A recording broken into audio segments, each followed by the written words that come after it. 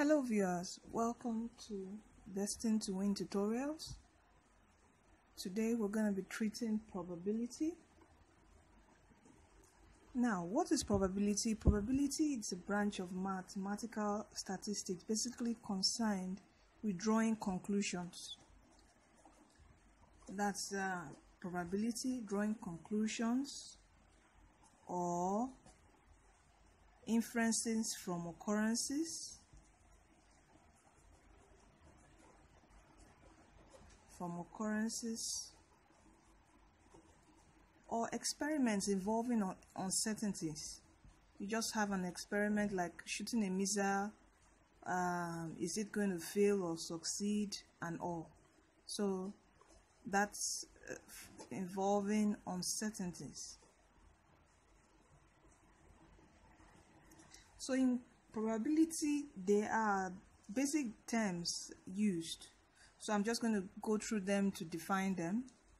Now, we know what is a sample space. What's a sample space? A sample space is just a set whose elements represent all possible outcomes of an experiment, usually denoted by S. Now, for example, what's the sample space of a single throw of a die? That's a single throw.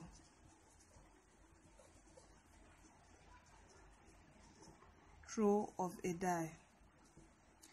We have this sample space to throw a die. I don't know if you know what a die is. Um, if you know this game called a ludo that's this the the cube um, the cube like a small box just like a box but a cube is what we know as a die. And to throw a single die these are the sample space. That's the elements the possible outcomes of that throw of a die. We're going to get a 1 a 2 a 3 a 4 a 5 or a 6 that's a single die. Now another example is the tossing of a coin. We are all familiar with coins. That's the kobo either the penny the pence and all so the sample space of a tossing of a coin, you either get a head or a tail. Now, if you toss two coins, what do you get? Two coins. Two coins, a sample space would be, we either get a head, head, a head and tail, or a tail and head, or a tail, tail this is what we would might have. Also another example is the launching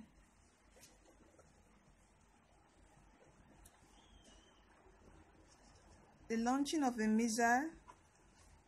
The sample space is either a success or a failure. So it's either the missile fail or succeed so these are some basic terms that we would see mostly in our probability questions in our exams. So another thing to look at is the general formula for probability.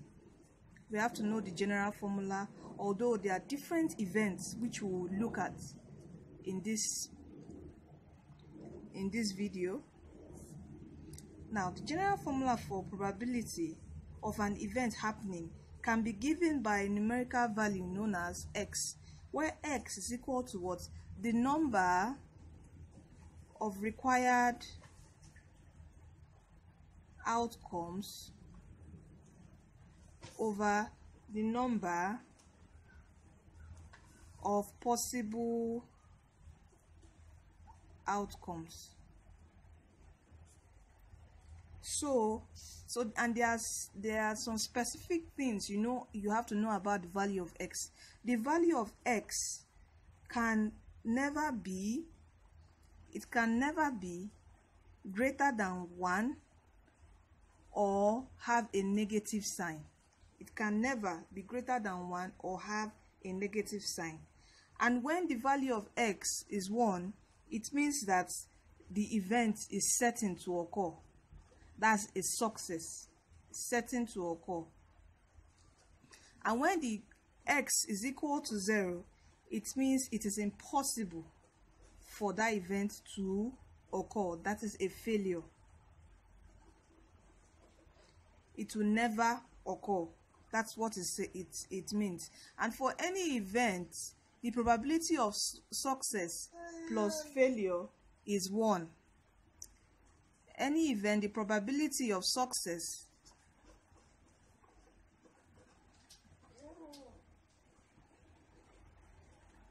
Plus failure is equal to 1 that is prx plus prx bar is equal to 1 and also the probability of failure that's it get the probability of failure of nothing happening. You just take this to the other side where p probability of failure is equal to what? 1 minus the probability of success.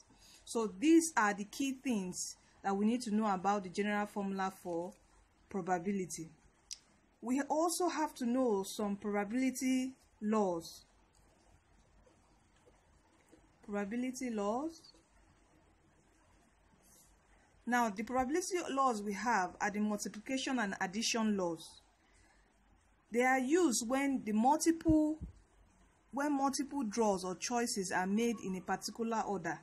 That's when you have two particular events coming together, like selecting uh, cards of ye red, yellow, or blue, or picking something from a particular, tossing a, a coin and a die. So that's a uh, compound event. So for multiplication,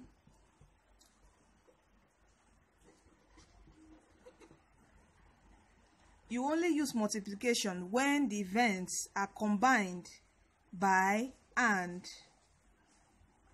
and both.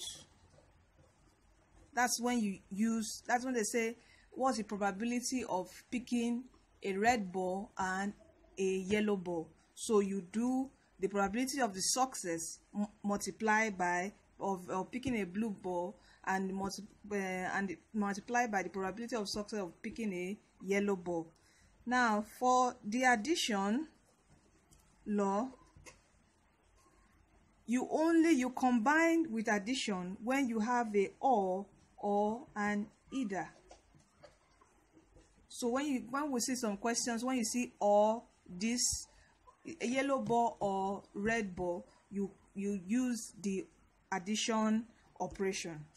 Now we're going to specifically look at independent events. That's this is our first um, part of, of probability. So we're looking at independent there are different events. There are dependent events in probability and they are also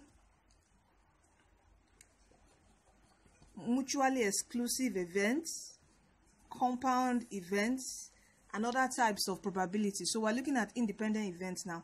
And what are independent events? They are events where the probability of one does not influence the other. As you see the word independent, it doesn't influence the other. E.g., tossing two dice. It can never influence the other.